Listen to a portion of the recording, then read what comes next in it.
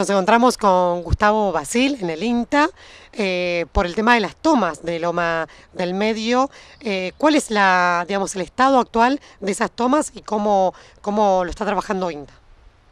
Desde el, desde el punto de vista del INTA, la situación sigue prácticamente igual. Eh, la información que nosotros recibimos por parte de la institución es que el juicio continúa, el juicio sigue y son las únicas respuestas que nosotros obtenemos. Eh,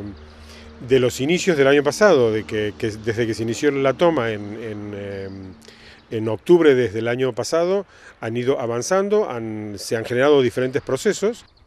Como es una zona que antes era únicamente bosque y hoy en día hay algunas viviendas, eh, se va a tornar bastante complicado en el supuesto caso de que haya algún incendio eh, en, el, eh, en, esta temporada.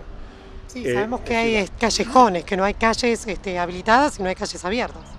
Sí, son, eh, digamos, son los viejos caminos que había dentro de la reserva, donde nosotros los utilizábamos para ingresar en el supuesto caso de que haya incendios o alguna cosa por el estilo, o que nosotros los utilizábamos para, para, para, poder plantar, porque gran parte del área que está ocupada es una parte que se viene plantando, hay 50 hectáreas forestadas, que todas están ocupadas ahora, que se vinieron forestando esas 50 hectáreas con ciprés desde eh, principios del año, desde el año 99, que fue el gran incendio. Eh,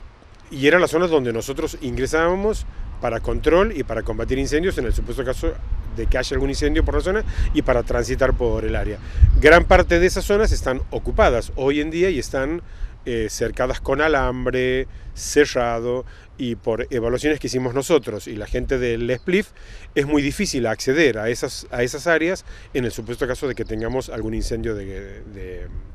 de, viviendas o alguna, o alguna quema que se genere porque se ha generado mucho material que la gente ha estado limpiando en las áreas, se ha generado mucho material, ese material hoy en día está seco, entonces eh, en el supuesto caso de, de, que haya algún incendio eh, se torna bastante peligroso y complicado. ¿sí?